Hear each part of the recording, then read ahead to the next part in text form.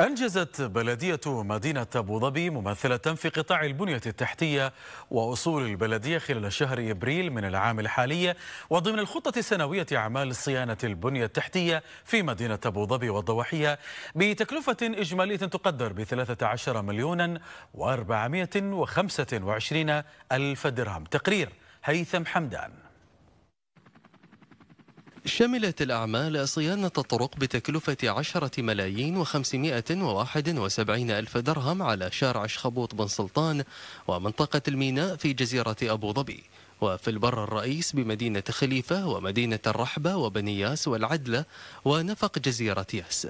وإزالة الرمال وإصلاح الحواجز المعدنية المتضررة وصيانة الجسور وأعمال تخطيط الطرق وأعمال الأسفلت على الطرق الخارجية.